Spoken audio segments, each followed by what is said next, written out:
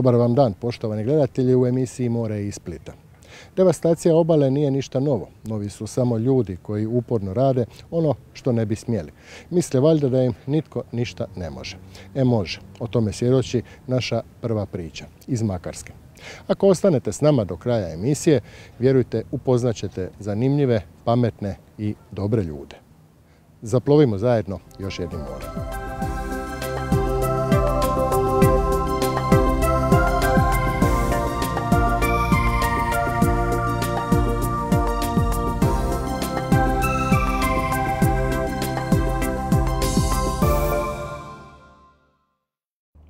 Nasipanje prirodnih plaža građevinskim otpadom i zemljom, ilegalna izgradnja pristaništa i vezova za brodice, nepoštivanje dobivenih koncesija za korištenje pomorskog dobra. Čini se uobičajena priča za Hrvatsku koja nikad nema kraja. Jedan od svježijih primjera takvog ponašanja i devastacije prirodnog okoliša je i plaža Cvitačka Biloševac u Makarskoj podnog gradilišta hotela Romana. Sudeći prema nalazima podvodnog istraživačkog kluba sveučilišta u Splitu, duž obalnog pojasa od 200 metara i do dubine od 3,5 do 5 metara, život je na izdisaju.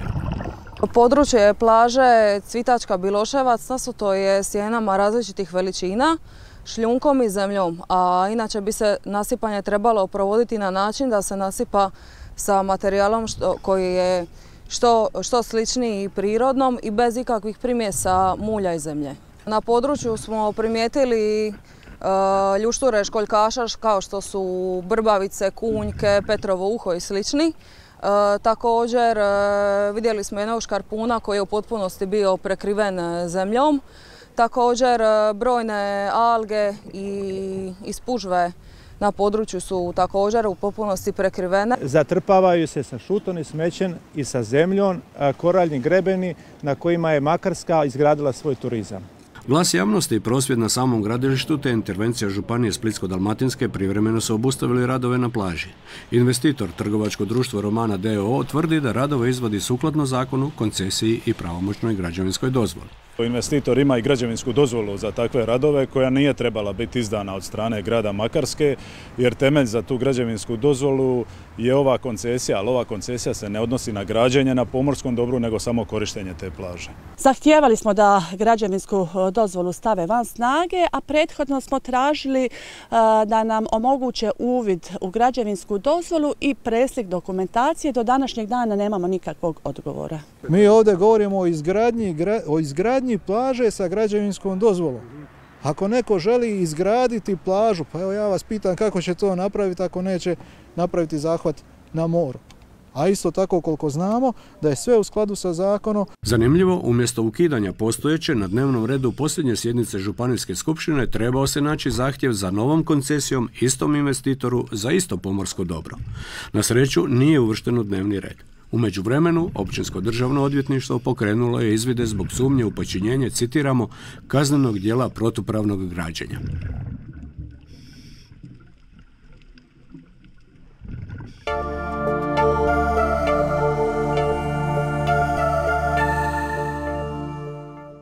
Nedavno preminuli Ante Mrvica, prije svega sjajan i samozatajan čovjek, pomorac, doktor znanosti, dugogodišnji zaposlenik Jadrolinije, nikoga nije ostavljao ravnodušnim, bez obzira jeste li ga upoznali ili ne. Sve to potaklo je splitskog umjetnika Nenu Mikulića da u neko doba noći svoje kreativnosti nacrta spomenik Anti Mrvici i predloži da se postavi u splitskoj trajektnoj lusi.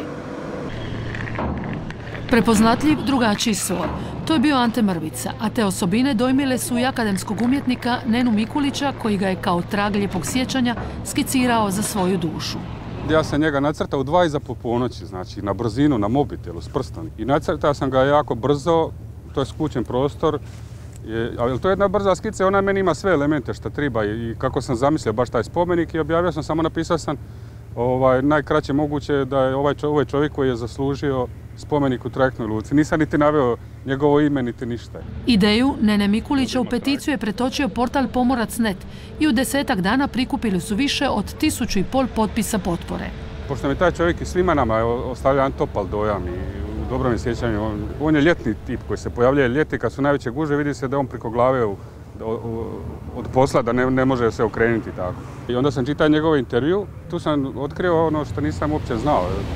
Da on ono, baš ono čovjek koji je puno radio na sebe, veliki intelektualac, doktor znanosti, predavao je na kraju na sveučilištu. I... Danas splitskom trajektnom lukom za Jadroliniju više nego odlično koordinira Jelena Ivulić. Vatrena ljeta i gužve je već uspješno svladala. A ja bih prvo rekla da on nezamjenjiv. Tako mi pred nama još e, dugi niz godina gdje trebamo stjecati iskustvo. E, što se znanja tiče, naravno, tu su godine pred nama, ali smo imali sreće što nam je bio mentor. U početku, znači ja i kolegica Daniela Ivanović nekako smo podijelile taj posao, ona više za brodove, ja za agencije.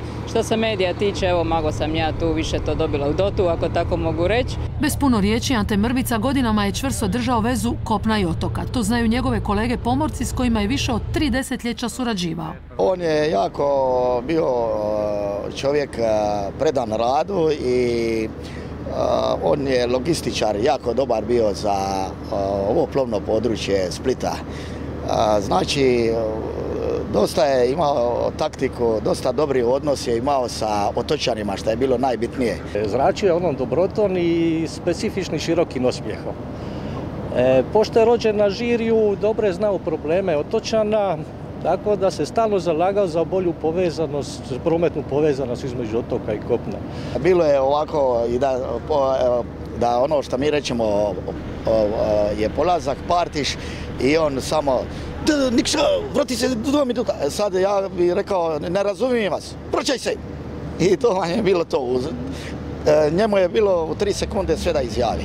On je fantastično koordinirao sa svim tim e, izvanrednim situacijama kao što je bio prevoz nekih trudnica, vatrogasaca, hitne pomoći, tako da je zaustavljao brodove E, e, zamjenjivao brodove. Vizija je Nene Mikulića da spomenik ima mrvicine karakteristične detalje.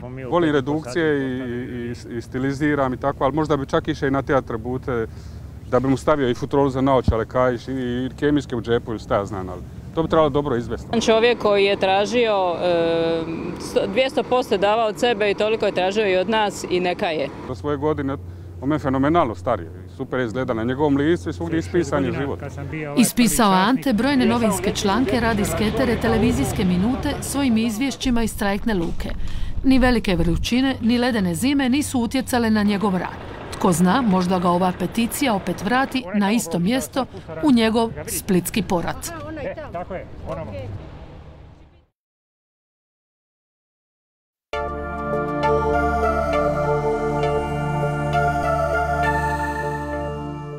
Prije dvije godine započela je obnova tvrđave na Prevlaci. Građena sredinom 19. stoljeća kao obrambena utvrda, prvi put u povijesti imaće civilnu namjenu. Tamo će biti muzej Austro-Ugarske ratne mornarice. Podsjetimo, nakon što ju je država predala općini Konavle, upravljanje tvrđavom Ponta Oštro prepušteno je društvu prijatelja Dubrovačke starine na rok od 20 godina. Ljudi kažu što obnavljate Austro-Ugarsku tvrđavu. A mi mislimo da je neko se tu potpuno zabunio. Mi mislimo da je ovo Hrvatska tvrđava. I Dubrovačka, i Hrvatska, i Evropska, kako hoćete.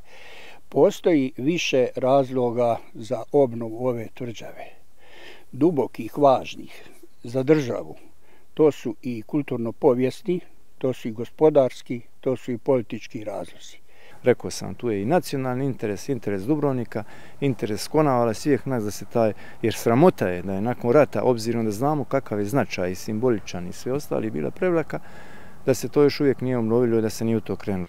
Krenulo je prije dvije godine. U brački kamen i obnovu fasade uloženo je oko 6 milijuna kuna, no radovi su zbog nedostatka sredstava u pandemiji zaustavljeni. Projekt je skup i zahtjevan, pa rješenje vide u europskim fondovima. Zahtjev da se ovo proglasi projektom od državnog značaja je pošao i on je, koliko znam, prihvaćen. Mi imamo e, tvrtku za europske fondove. Naš dio posla ćemo odraditi zajedno s općinom Konavle. Očekujemo nastavak podrške od vlade. Mi smo već u pripremi sa društvom prijatelja Dubrovačke starine, već se duboko ušlo u taj projekat i ja mislim kod iduće razdoblje da ćemo mi i aplicirati i dobiti određena sredstva da bi se završio taj cijeli projekt koji je, moram reći, kad vi pogledate koliki je to iznos, negdje mi to nako predviđamo da je preko 100 milijuna kuna. Građena od 1850. do 1853. jedna je od tri tvrđave koje su štitile ulaz u Boku Kotorsku. Tvrđava je napravljena zaista kao arhitektonska ljepotica. Kasnije će ona dogradnjama, da bi bila praktična u obrani, izgubiti veći dio toga. Zato mi želimo vratiti sve u to. Derutna tvrđava ima veliki turistički potencijal, šest katova, 40 kazamata i četiri terase. Mi ovdje nudimo dosu artefakti, austrougarske ratne mornarice, sa restoranom, sa kafićem, sa par specijaliziranih suvenirnica i sa sutra prostorom za igru za majke s djecom dođu igrati se potapanja brodova. Čak pola milijuna eura vrijedna je zbirka koju su nabavili. To su vam savršeno očuvani sa pozlatama, sa svim, sablje, mačevi, odore, e, e, puške, pištolji, kompasi, jedači pribor, ordeni, znate, dijelovi brodova. Prilika da šira javno sazna manje poznate stvari o Hrvatima. Najbrojniji mornari u Austrugarskoj mornarici bili su Hrvati. I to daleko najbrojniji. Preko deset ih posto bilo i u, i u komandnom sastavu, časničkom. Pa, pazite, Hrvat je bio zapovjednik kompletne Austrugarske mornarice, ne samo flote. Uloga Hrvata, povijesni pregled, važne bitke, interes tržišta za muzej postoji. Bio bi to gospodarski pokretač razvoja cijelog kraja. Ovdje svake godine dolazu kolone auta iz Austrije, Mađarske, Češke, Slovačke i ostalih zemalja od Italije, jeli, od Trsta i svega. Taj dio je bio do kraja Austrougarske u Austriji. I takvim jednim pristupom mi bi ovdje doveli turiste. To je i tekakav značaj i za Dubrovnik, ne samo za Konavlje. A za nas e, Konavle, taj, pogotovo taj dio, južni dio je lošije uvjetno rečeno razvijen i to bi bila jedna velika stvar da se to ostvari. Najjužnija kopnena točka, početak ili završetak Hrvatske, spremna je za novi početak.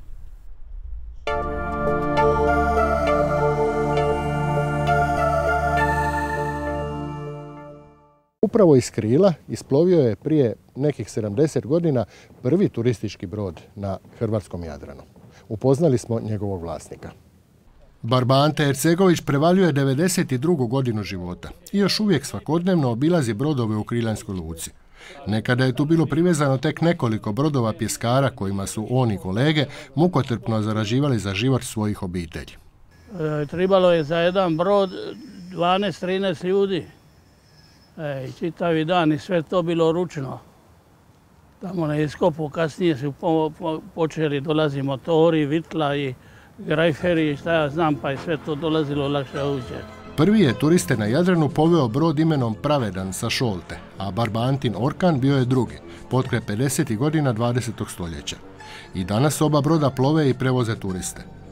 Barbante nam priča kako je u taj biznis ušao slučajno kada je u Lučkoj kapetaniji trebao produljiti registraciju, pa ga je kapetan pitao bili njega i još dvije obitelji poveo na dvotjedno krstarenje. Išli smo direktno iz Splita u Kornate.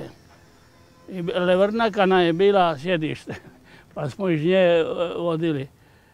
I ja sam se dogovorili dvije sedmice, međutim učinili smo 18 dana. Možete misliti kako je to bilo, bilo je njih devet, jedna familija pet, druga četiri i ovaj doktor i ovaj akademik i sa ženom i nas je bilo tri mornara. Na temelju njihovih slika i priča ja sam sljedeću godinu ima četiri ture po dvi sedmice. I tako je to počelo. 60 godina kasnije u Kriljanskoj luci brodovi vrijedni milijune eura. Udruga brodara Krilo Jesenice koju je osnivao i Barbante Ercegović obilježava tri desetljeća rada i priželjkuje što skoriji završetak korona krize. Ovih dvjestotinjak od ukupno 450 turističkih brodova članova udruge na Jadranu, matičnu luku najme nije napustilo još od pretprošle sezone. Mir i tišina vladaju u luci u kojoj su se lani i svih godina prije u ovo doba buka alata i udarci čekića čuli sa svakoga broda. Pripremili su ih za sezonu još prošlog proljeća čekamo šta će se dogoditi, iako održavamo svi brodove, ali u manjem intenzitetu, jer nismo u mogućnosti financijski ni veliku posadu plaćati. Borimo se, snalazimo i sa kreditima i sa održavanjem i sa svime. Više stotina milijuna eura vrijedni su ovi brodovi. Od njih ovako privezanih koristi nemaju ni oni, ni banke, a ni država. Idući mjesec ističe im jednogodišnji moratorij na kredite ako se ne produži, prijeti im propast. Dvije godine za redom bez prihoda, znači to nije tako jednostavno. Oni koji budu radili, opet to neće biti nešto, e, nešto da bi se mogli recimo servisirati sve kreditne obaveze, sve, sve troškove poslovanja i znači u tom segmentu tražimo pomoć od banaka i države da nam to produži još te moratorije na godinu dana pa da onda e, s nadom u budućnost da to e, odradimo kako smo navikli do sada. Popravili se stanje s pandemijom i u strogo poštovanje epidemioloških mjera, brodovi iz krila mogli bi ove sezone opet namore. Nažalost, nitko ne očekuje da će se tako brzo vratiti na turističke rezultate ostvarene prije korone.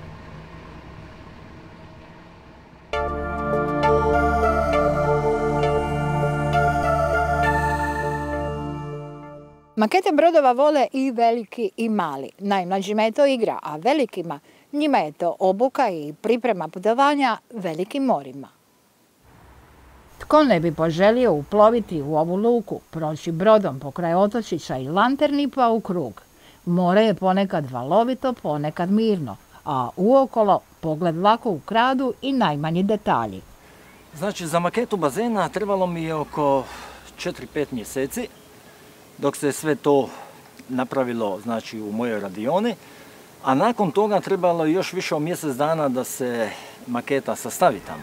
Točno se je moralo izmjeriti gdje što dolazi, dakle od samog onog dijela gdje je brdo, znači lijeva i desna strana naselje, restoran, džige, svetionik i onda smo napravili prvi test sa brodićima i to je funkcioniralo. Ugodno oku, do detalja na dnu metar dubokog mora kamenčići ali i matematički detaljno točno. Da, sve u detalje. Ono naj, što dozvoljava znači, matematički proračun, to je to. Znači maketa je rađena u miru 1 naprema 50 i sve se uklopilo, sve štima, svaki brodić je prema određenoj dimenziji napravljen i to se sve unaprijed pripremilo, znači nismo radili maketu eh, da nismo znali koliki će biti svaki brodić. Znači, jedan brodić ne smije preći dužinu 38, maksimalno 40 cm. Sami simulatori nisu dovoljni da bi čovjek osjetio kako more i kako mediji reagiraju. Tako ovdje smo napravili bazen u kojem postoje različiti vrsti i razni modeli brodova. Ima neka paleta od 10 brodova i sa tim brodovima se upravlja u mediju i postiže se značajno bolji rezultati. Brodovi mogu biti od jednostavnih jahti do velikih prekooceanskih brodova. Radi Oliver brodove gotovo od uvijek. Ovo je tek dio brojne njegove flote, a ovaj dio flote još treba doradu. Oni su raznih tipova, znači ovo je balkarijer, tu će biti jedan tanker, imamo konteneraša i tako dalje. U sve ove brodove se ugrađuju elektromotori i znači oni imaju svoju svrhu da one na daljinsko upravljanje e, plove u tom bazenu koji je namijenjen u svrhu učenja i obuke kadrova, pomorskih kadrova. Znači kad gledamo cijelu tu maketu u cijelini, koja se nalazi u SSM United u Splitu, znači to je bazen veličine 6 metara, e, širok je 3. Znači on ima popravni sadržaj, ima brdo, tunel, rasvjeta, džige, restoran, naselje i tako. Model broda je izrađen u točnoj proporciji kao nekakav veliki brod s kojim taj zapovjednik ili časnik upravlja. E, postoje onda ovdje kod nas mogućnosti da se obuka radi u mirnom moru, ali može se raditi i sa valovima, dodajemo valove. Može se raditi i sa vjetrom, dodajemo vjetar. Tako da on stekne uvjete slične kakve može očekivati u, životu. Ovo je jedinstveni centar izrađen u Europi, postoji nešto slično u Velikoj Britaniji i to nam je bio na neki način uzor. E, već smo prošli dosta, dosta kandidata je prošlo ovdje, ocjene su vrhunske. Dio vremena Oliver provodi u učenju najmlađih.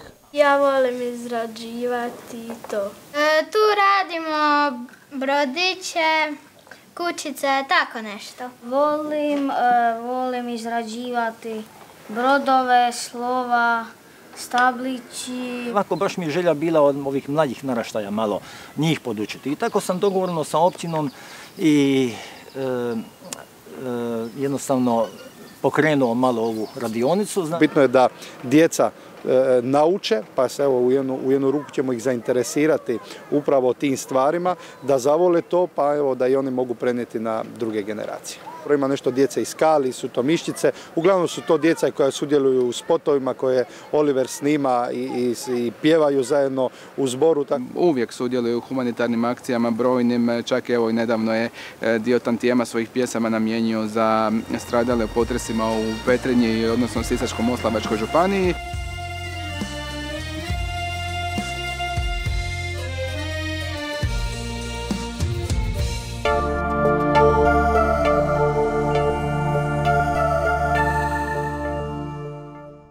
Nekoga iskreno volite i ono nemoguće postaje moguće. I to je moto upravo naše sljedeće priče. A more, more ih je povezalo. Čak ni ova rijetka magla u Dalmaciji, kao što je danas, ne može spriječiti njihovu ljubav, jer ona vidi šire i dalje.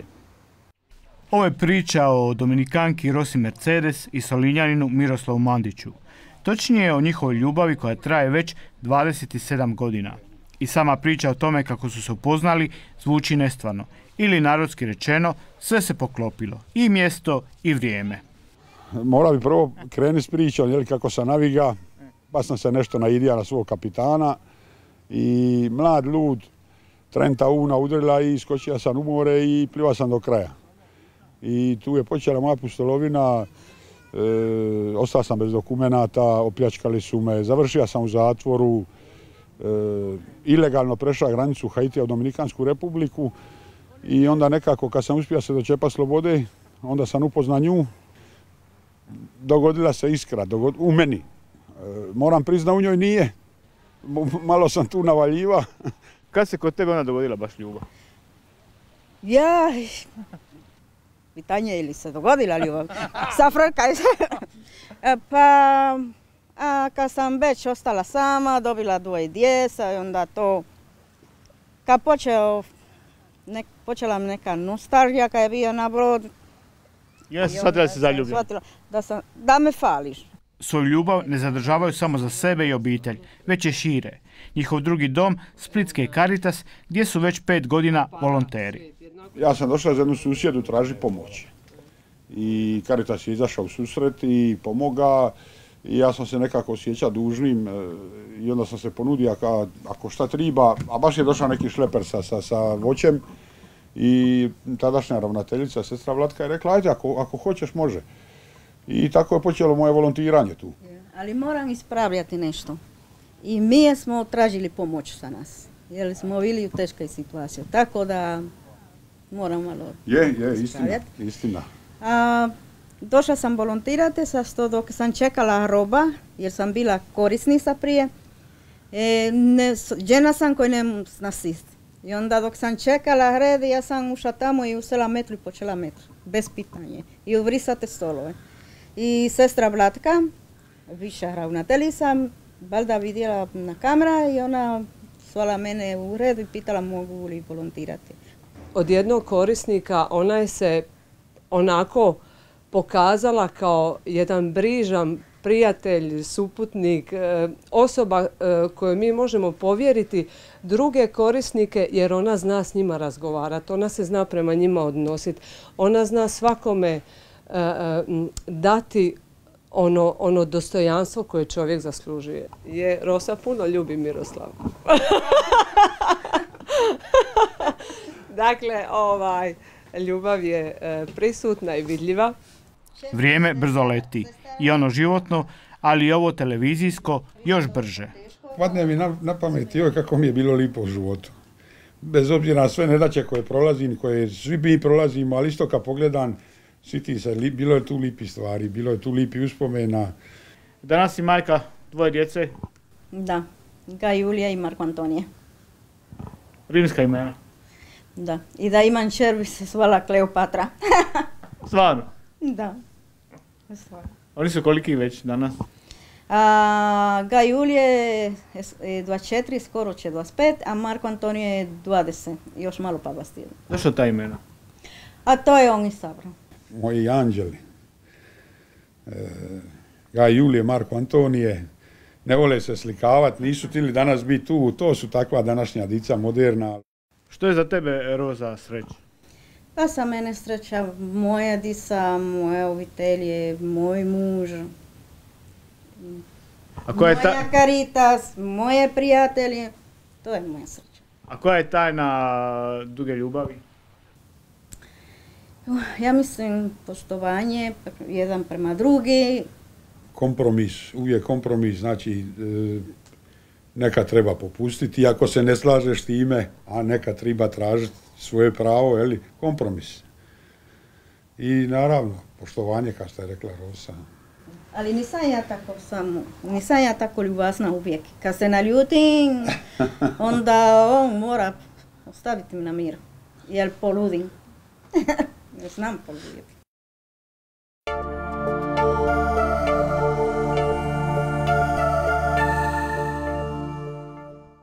Ukupno 5 sati vožnje, prvo autobusom, a onda trajektom. I sve to samo kako bi u Splitu popio kavu i pročakulao s nekim novim ljudima. Stevku Marinkoviću iz Komiže na Visu to nije nimalo teško. 77 ljeta je barba Stivu u Split se često zaleti. Spriječiti ga može samo jaka nevera. Godine kaže nikako. Uplovljava pomalo u splitsku luku Bartol Kašić, najraniji trajekt s Visa. Kako bi ga uhvatio, barba Stiv mora ustati puno prije zore. Ja moram najprije na autobus. Iz Komiže za Vis. I onda tamo čekam trajekt pet i po i za Split. U Splitu je barem tri puta na tjedan i to otkako su u doba pandemije ponovno dopuštena putovanja trajektima. Grad mu pruža ono što mu u njegovoj voljenoj komiži ipak pomalo nedostaje. Neki veseli život. Evo, ljudi, ljudi prolaze vamo tamo. Od toga u Komiži nema, dosadno mi je dole. Jednostavno mi je dosadno, nemam s kime pričati. A ovdje sam upoznao ljude, pa s njima popričam i dođe 9 sati i idem za Komižu. Šetnja ulicama drugoga grada i susreti s novim ljudima način je na koji se Barba Stiv bori protiv muke koju je, kaže, donijela pandemija. Lipo je vidjeti tako starije ljude da se ne tuže, da su veseli, zdravi, toliki put privali samo da bi sija tu s ljudima.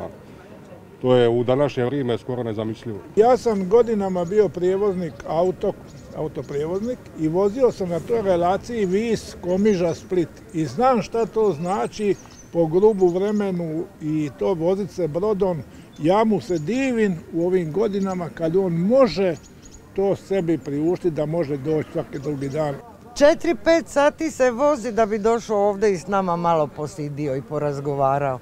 A ja sam tu 200 metara pa jedva dođem. Čude se komižani volji svojega stevka. Neki se i boje da će donijeti koronavirus. A oni koji nisu pani, oni se mene smiju. A ovi paničari kada vide da bježe od mene. Zna dobro Barba Stiv što je potrebno. Maska, udaljenost, a trajekt je uvijek poluprazan. A nakon sat dva druženja vrijeme je i za odlazak iz Splita. Preko mora daleko.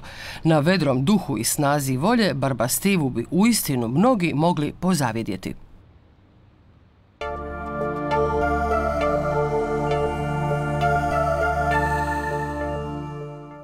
Na kraju emisije pozivam vas da i idućih nedjelja zaplovite morem s kolegama iz Pule, Zadra i Rijeke, a s nama budite ponovno zajedno i za mjesec dana. Hvala na pozornosti i doviđenja.